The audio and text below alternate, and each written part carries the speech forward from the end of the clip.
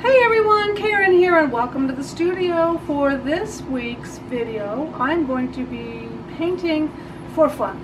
So this is what I do in the studio when I don't have any plan. In other words, I don't have a, a, a lesson to prepare for or I don't have a, a exercise that I want to work on personally. I just want to paint but I don't want it to be too stressful or too anxiety provoking. I just want to have fun. So what do I do? I go to my discard box. So this is a box that I keep, very fancy box, that I keep near my easel on the shelf. And they are paintings that maybe were unfinished demos. This happens to be a, a sky demo. Or paintings that just didn't meet the cut. Maybe they were experiments. Maybe they were paintings that meant to be good, but they just, you know, they didn't please me. So instead of throwing them out, because I know sometimes we get frustrated and we just want to, we don't want to see them anymore, so we throw them out. I just keep them in a box. And when I have time to paint and I don't know what I want to paint or don't really have anything in particular in mind, I take something out of the discard box and I rework it. So the first thing that I usually do when I rework a painting is I take the painting and I liquefy the pastel so that I create a underpainting, a wet underpainting. So I already did one here, and I'm going to do another one for you just to show you what I mean. These two uh, paintings, I guess you could call them, were actually demos for Cloud and Sky Workshop. So I don't really want them to be sky paintings, but they, they serve their purpose. Now it's time to just use the paper. It's nice UART sanded paper, so I don't want to waste it. I don't want to throw it out. So what I'm going to do is I'm going to take a little rubbing alcohol, put it in a cup, and I'm going to liquefy it.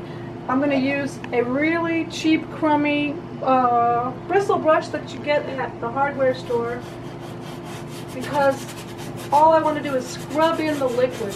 Now you can certainly use water, you can use the odorless mineral spirits that we've been talking about, you can use anything to liquefy the pastel. I'm using rubbing alcohol because it tends to dry faster than water and you can often get more interesting drips with it. I didn't even bother to uh, brush off the pastel layer. I'm just simply using the alcohol to wet the pastel. It works best if you work from the lighter colors to the darker colors, so that's what I'm doing here. And I'm just wetting it so that I have, hey, you, you, you're probably saying, well, what, why are you doing that? Why bother? Just, you know, paint on top of it. But my goal for this is so that I don't have just a plain white piece of paper to respond to, that I have something interesting. Because white paper or plain paper tends to be intimidating. I had this idea uh, this morning when I was wetting the other one. What happens if I just flick some alcohol at the painting? Would I get some more interesting drips and dribbles that way? And actually I did. Probably not as much on this one. Oh, there we go. So I'm always playing, I'm always experimenting and saying, what if I try this or what if I try that? And so basically, that's what I'm going to do. Now, what, what do you do with your alcohol? What I do is instead of throwing it down the drain, I put my paper towel in there to soak it up and just wipe it, use it to wipe my little jar clean, and then I throw it out. And that's a good way to discard your alcohol. All right, so we'll let that one dry, and then I'm going to uh, paint on this one for today's painting. Now, I did another one on, I think it was Friday, when I had playtime in my studio, and I decided I would paint some Queen Anne's lace because this reminded me of flowers reaching up into a, a, beautiful blue sky.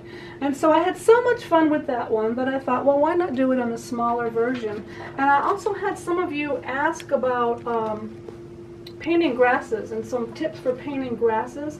And I have done videos on painting grasses and lots of blog posts on painting grasses. But I'll try to uh, explain a, a, little bit more tips.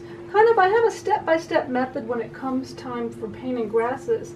And I can share with you that step-by-step method, but ultimately it's going to be your own personal calligraphy or the way you make your marks that's going to make your grasses look different than mine. So basically your grass shouldn't look like mine. Your grass should look like your grass. And so I'll give you some tips, but don't try to copy the way I do. Let your own handwriting come out because that's really what makes art unique is we we each express ourselves in a different manner.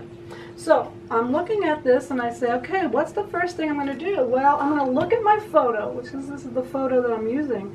But the photo is only going to be there as inspiration for color, for shapes, for textures, but I'm not going to copy it the way it is. So oftentimes what I will find is I stop looking at the photo. Now I start painting and the painting starts to uh, come on it become its own entity. And I don't even look at the photo anymore. So a lot of times when I'm painting and we take the camera off the photo don't get frustrated with that because I'm not really looking at the photo anymore. The photo was there to just to get me started and to give me some ideas. So to give me ideas I have to look at it and say okay I want some flowers coming up and reaching into the sky. How can I make that happen? How can I arrange the flowers so that they're going to be interesting and I don't really want to copy the one that I just did. I want to make this one a little bit different. So I'm going to put in, I call this my one inch rule. When I'm painting flowers or clouds, if my flower shapes are going to be larger than an inch, then I'm going to make room for them in the painting. If they're smaller than an inch, what I will do is be able to put them right on top of the background. So all of these flowers that I just drew, these oval shapes, they're going to be larger than an inch. So I want to leave room for them so that I don't uh, have to cover up something that's too dark.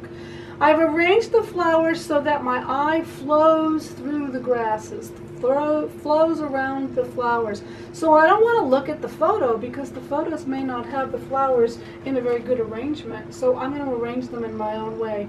I will always be open to moving flowers around, taking some out, putting some in. So it's very fluid. You know, it's going to change as as, as the painting progresses. All right, so the first thing that I do is I'm going to reinforce all the dark areas. So the darkest areas in this painting are going to be the grassy uh, part at the bottom.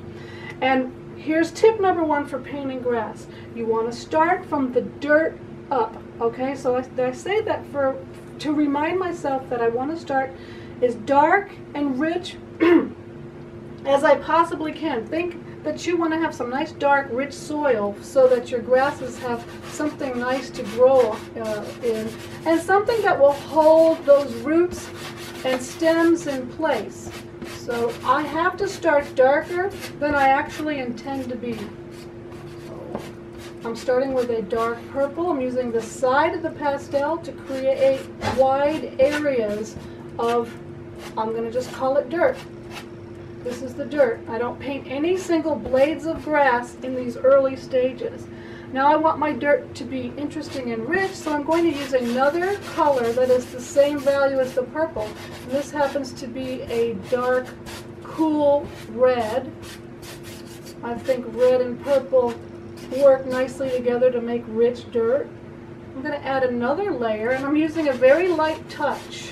This is a dark blue that is also the same value as the purple and the red. When I say I'm using a light touch, I want to be able to see the, the colors that are underneath. So I have, I can see the blue, I can see the purple, I can see the red, and I can see the actual underpainting. And then finally, because this is, after all, something that's green, I'm going to add large areas of a dark green in my dirt area. I know this seems kind of strange, but bear with me because I have to start with big, bold, uh, simple shapes and then I'll gradually add the detail. If you notice I started to pull some of that dark up a little bit further than I originally had it and this is so that I can get an airy feeling to my grass. So this is a little bit denser and this is a little bit lighter, lighter touch that is. Alright, now the next thing I'm going to do is mark out where my flowers are going to be. And I'm going to use, let me think here, let's use this kind of a dull gray, greenish tan color. And wherever I want those flowers, I'm going to use wide marks to, to put them into the painting. Now here's the part where I, um, I have learned, because I've done it enough where I've made mistakes is you don't want all your flowers to be on top of the grass because then it looks like you have grass and then you came and you, you glued flowers on top. But I have to put them in. But know that I will cover some of this up with some of the, um, the grasses as I move on. Now I also want there to feel like there's some little smaller flowers in the background. So I'm using a very grayed green for a nice distant color to put in some indications of uh, little flowers that are in the distance. So I won't probably do much more to those except for maybe I'll add a little bit hint of a, of a grayed down violet and that'll help push them back into the distance a little bit more. All right, so what do I have now? Have already an indication of the sky, which is kind of cool. So what I think I'm going to do is I'm going to use the colors that are already here and just enhance them with actual pastel. Look at what's happening in this underpainting. Doesn't it look like there's starting to be kind of a glow, like maybe maybe the sun is there, or maybe there's haze coming through a wispy cloud, something of that effect. I really like what's happening here, so I'm going to try to preserve that, and to do that I'm going to take a pale yellow and just work that down into the, from the, that spot that was there, and work it down into the grasses just a little bit. I happen to be using a um, pale yellow NuPastel, um, which is a harder pastel. And it really doesn't matter if I use hard or soft. At this point, I'm, it's more about the color and the value that I'm interested in. Alright, now I'm going to go ahead and use some of the blues. I want to match the blue to the color and the value that's already there in the underpainting. So I have several blue pastels already out on my tray. And if you've been following me, then you do know already that I like to choose my pastel palette in advance. And then that way I can paint without having to stop and think about everything, trying to pick the right colors. So I'm just layering, I'm doing what is called a fractured sky for this painting because I'm not showing very much sky. Um, if you're new to this page and you missed the present, the, the, I think we spent over a month on painting skies and clouds back in um, June, I believe. You can go back and catch those videos and those lessons. I'm using the sky color to start to break up the grassy areas. So see where I'm making these little marks in the grass? This is called negative painting. And I'm painting the sky so that the grasses start to come forward. So sometimes you paint what's behind a shape to make the shapes come out.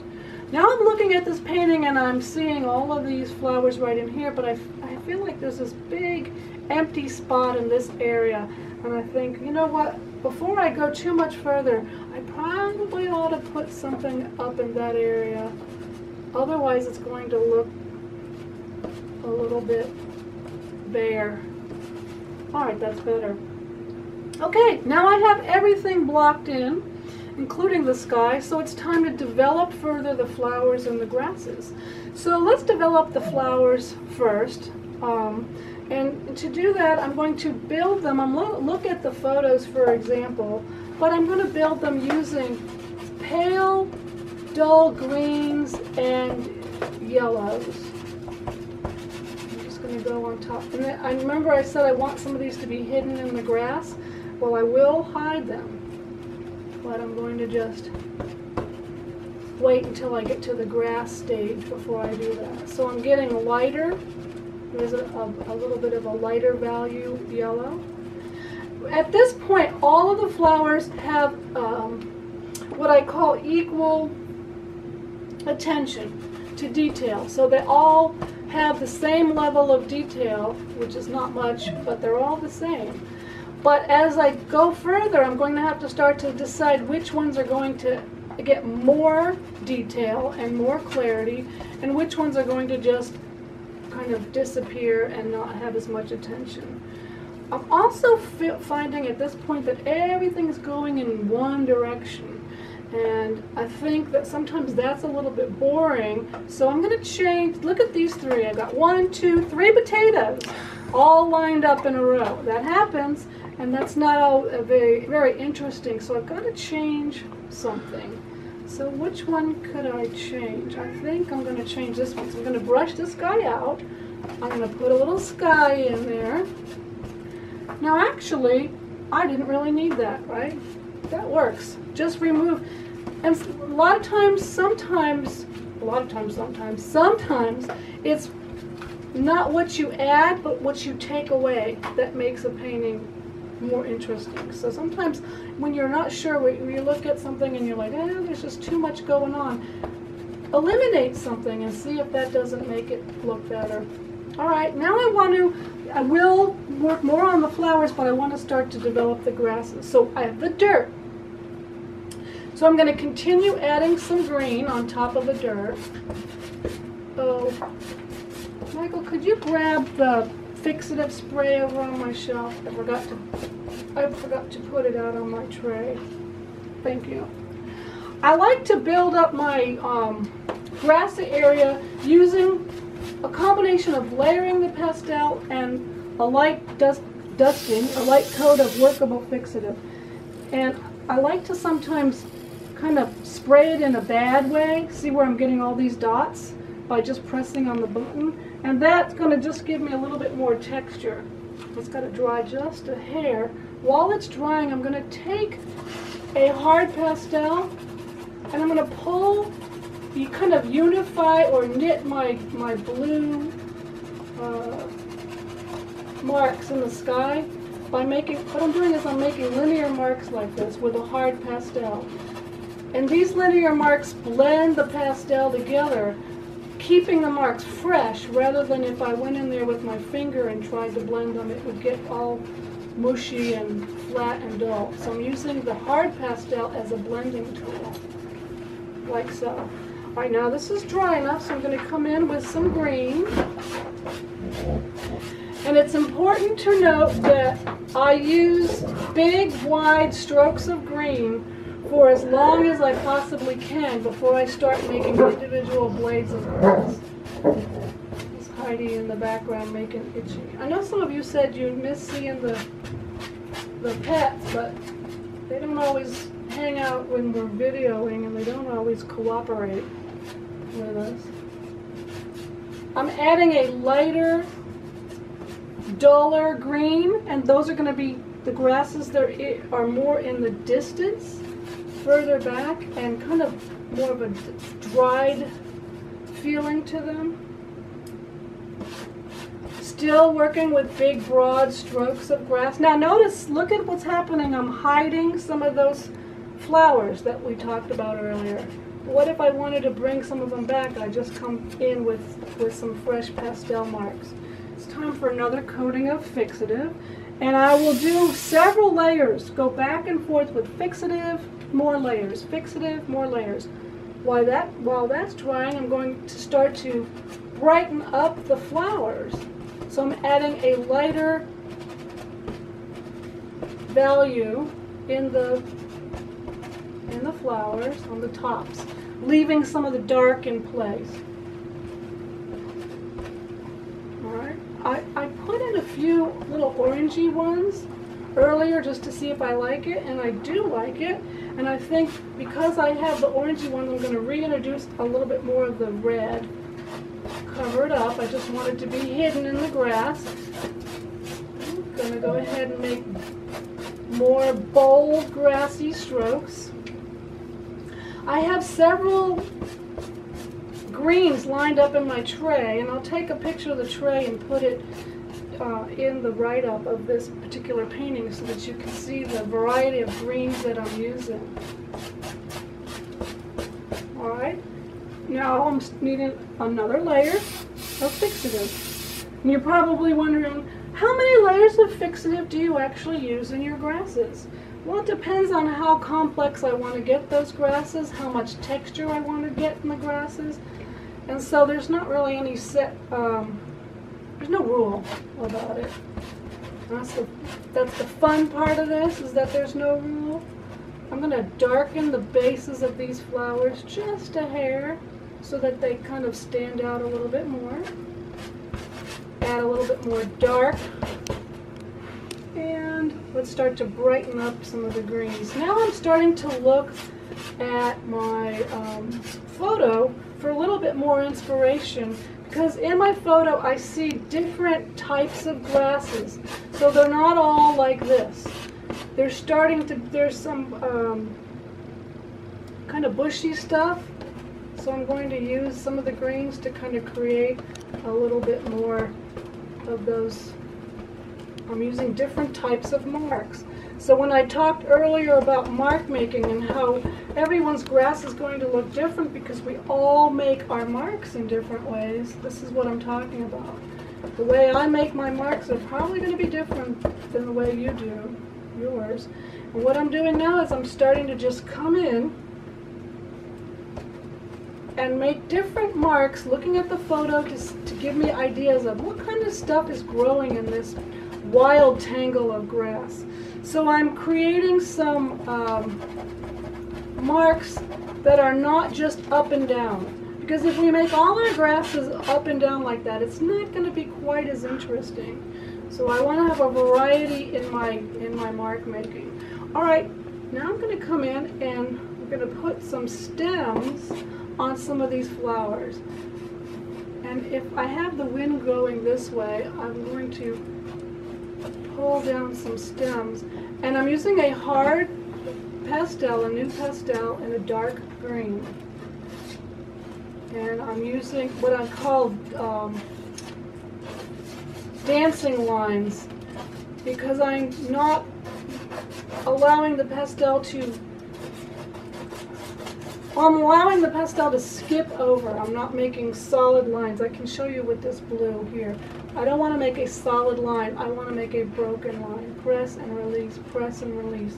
And that makes it feel more natural. All right, now what I'm going to do is I'm going to say, okay, flowers, which, which of you are going to be the stars? I want to hide another guy here, and I totally lost him, so I'm reintroducing him but I'm careful not to make it too dense. I'm going to say that this area here is going to be the focal area or the star. So I'm using my lightest light, which is just about white, to just brighten up that biggest flower and then some of the flowers on the edges and leading to the focal area. So I'm going to let all of these kind of just go out of focus and really only focus on this area right in here.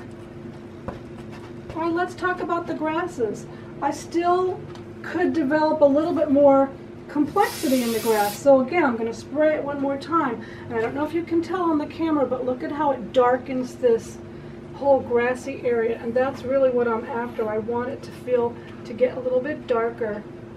And as it dries, I'm going to drag a very, very pale yellow pastel over this some of this dark area because what I'm trying to do now is I'm trying to create depth in this grassy area.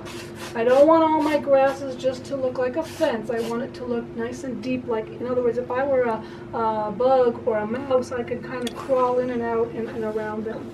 All right. Coming up to the finish.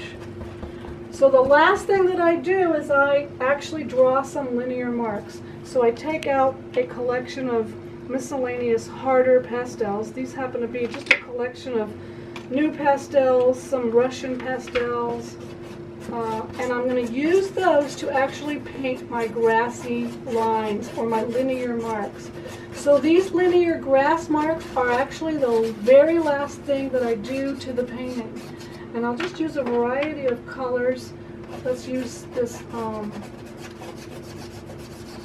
kind of golden ochre one to create some dry grasses.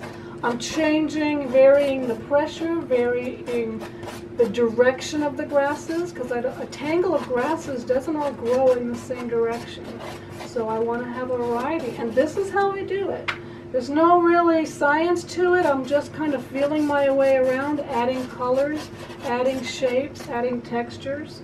Uh, I could get a little bit of light on the edge of this stem and maybe I look at it and I say, well, I think I could use a few more darker, I like those kind of darker weedy marks coming in there. I can add a few more of those.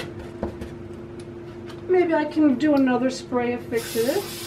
Look at how it darkens it It's got to dry just a little bit. I could come in with the sky color and use it to negatively paint, to pull, to make the grasses feel a little bit more airy and light at the tips. I can come in with a lighter NuPastel to create some of those really airy looking.